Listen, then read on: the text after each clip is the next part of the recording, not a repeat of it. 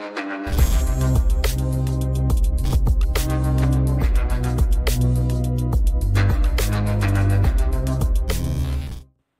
welcome back sa Car Daddy's PH At uh, today, hindi tayo mag-unbox kasi na-excite ako na maggawa ng bagong content na DIY or tutorial ng about sa Yu-Gi-Oh! So kung gusto nyo magkaroon ng uh, anime style o, diba? Yan o. Anime style Yu-Gi-Oh! cards na kagaya nito sundan nyo lang yung step by step na gagawin natin at magkakaroon din kayo. Simple lang, ano lang, simple lang mga kailangan natin. Uh, class A cards, tapos glue stick and scissor. Yan lang. Yan, syempre mag-start tayo sa Google. Type nyo lang yung gusto nyong card. Kasi ako gusto ko si Stardust Dragon. Yan, Stardust Dragon anime card meron akong alam na website na puro ganito pero mas okay na to dito sa Google para mas marami kang pagpipilian ayan ang dami puro Stardust Dragon yung lumabas so ito pipindutin natin yan yan ganyang kalaki so right click. Tapos open image. Uh, open image in new tab. So punta ka sa tab na yun na na-open mo. So ganyan dapat kalaki ha para kung isi-shrink mo siya sa isang uh, uh, edit hindi siya yung quality niya mababago. Uh, kung may marinig kayong noises sa background uh, yung anak ko siya na naglalaro kasama ko siya rito sa kwarto so isi-save image as mo lang siya so may naka-ready na kasi kung naka-save na na image so pupunta ka sa powerpoint sa powerpoint ako nag uh, sa PowerPoint ako nag-edit. So, dapat ganyan siya kalaki ah. Ito yung isang buong papel. Ayan. So, paano natin i-resize? Oh, palaki muna natin ng konti yung para kitang-kita natin lahat. Ayan ah. Buong bond paper yan ah, yung white na yan ah. So, ganyan siya kalaki. Oh, i-resize natin siya. Ah, pinutin nyo lang tong size and position tapos, ito yung height and uh, yung lapad niya. Yung tangkad at ang lapad. So, tatanggalin natin itong lock aspect ratio para hindi siya mag-lock yung size niya. Tapos, i-google nyo kung ano yung size ng Yu-Gi-Oh card. So, meron na akong nakalagay dito na yan, meron nakalagay, may ginugil ko na Yu-Gi-Oh card size.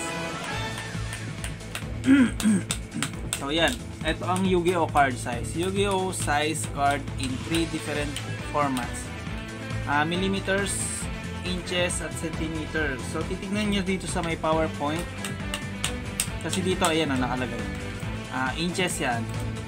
So, dito tayo magbabase sa 3.5 na haba, tapos 2.25 na kapal, ay na ano, na na lapad.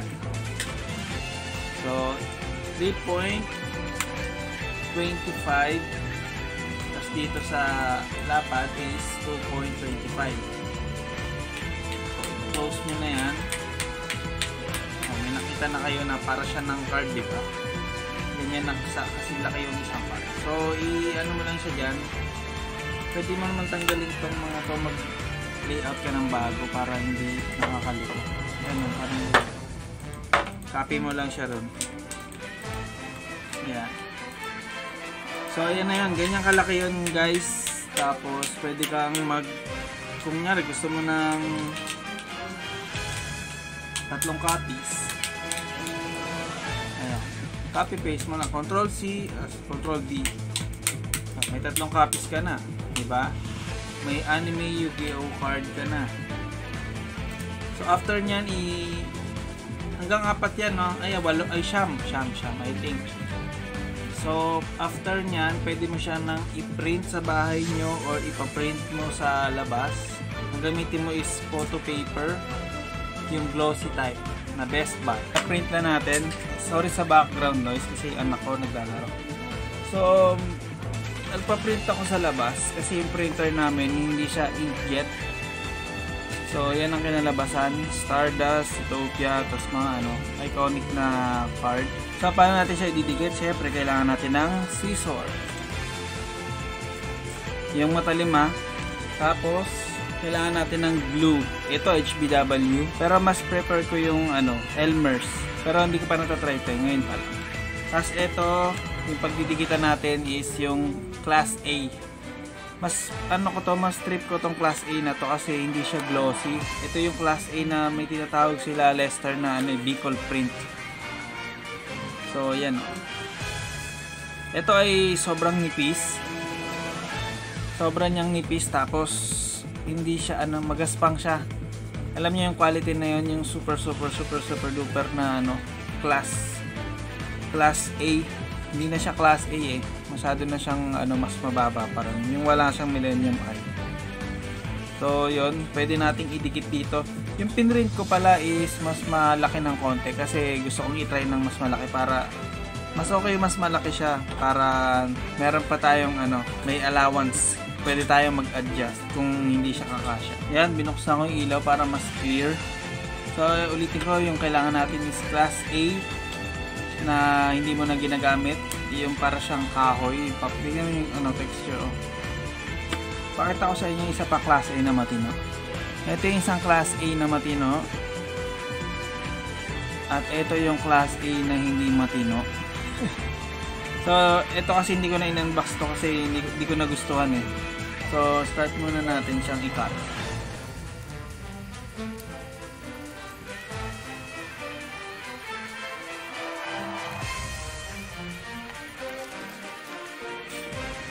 So yan, sobrang tagal kong mag-cut.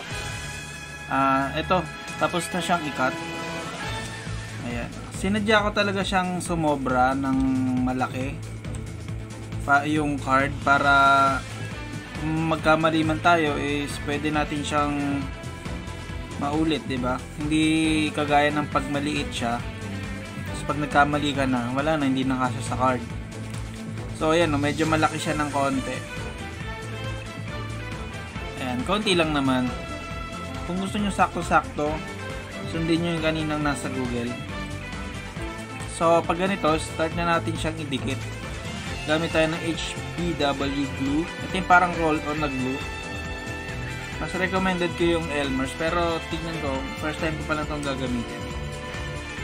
So, ito, hindi pa tayo tapos dito gumamit kasi yung sobra ikakat pa natin. So, dito tayo maglagay kasi maganda yung yung texture niya is magaspang para siyang karton hindi kagaya nung uh, class A so ayan start na natin siyang dikitan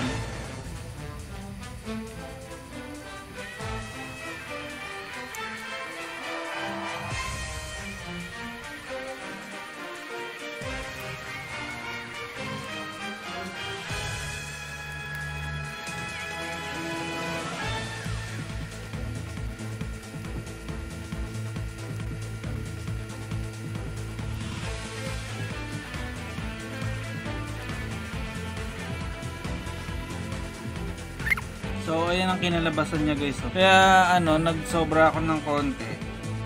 Para kung magkamali man tayo ng cut, at least meron tayong, ano, pwede tayong mag-adjust. So, ang mas maganda pa dyan, pag nilagay nyo sa sleeves yan, mas maangas na yan. Din, kinat ko na siya kagad kasi mas mag maganda pala tong HBW na glue stick. Kasi, ano siya, nagdumikit agad. Ngayon, hindi na siya matanggal, oh. Saka, ano, 'Di ba? Mukhang legit 'to. Oh, 'di ba? Pag naka-slip ang lupet.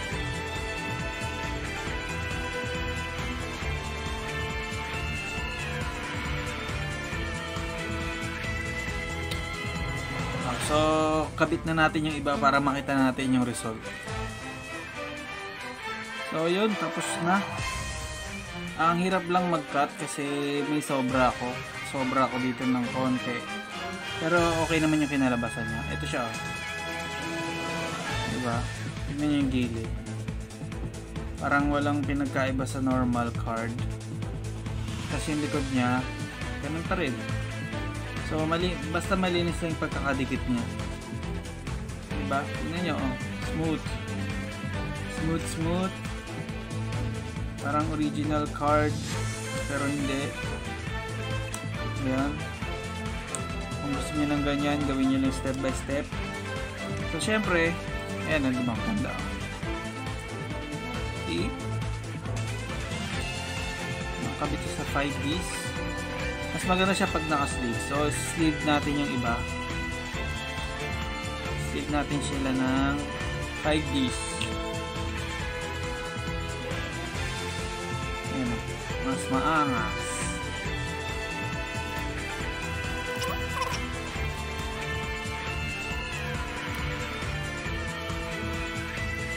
Pinapaborito ko eh. Stardust Dragon.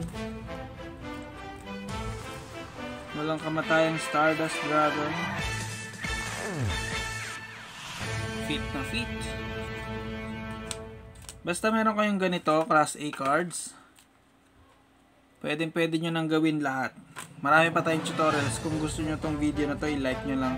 Para alam ko kung gagawa pa akong bago. So, yun. Eto na siya. Diba? Lupit oh. Ah, marami pa sana tayo unbox kaso mas nag mas na excite ako rito maggawa ng DIY yan oh.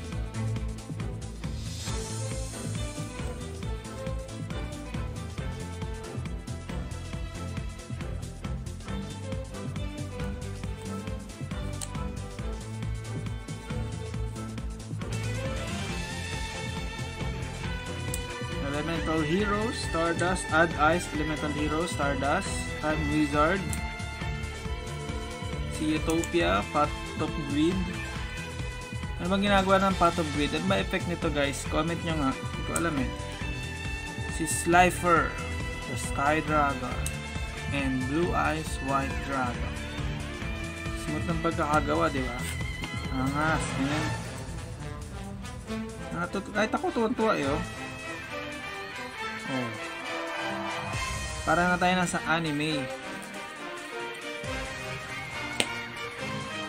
So yun lang, kung nagustuhan niyo yung video, nagawa tayo ng anime style video cards na DIY tutorial. Mag-like lang kayo sa video na to para alam ko kung gagawa pa tayo ng bago. So marami pa tayong i-unbox. Uh, na-excite lang ako dito sa DIY na to kasi ang cool nyo hindi nyo na kailangan bumili. Kasi yung channel naman natin is pang sa mga tao na hindi unlimited or infinite yung pera kagaya ko. So, ayun lang. Like and subscribe sa Card PH.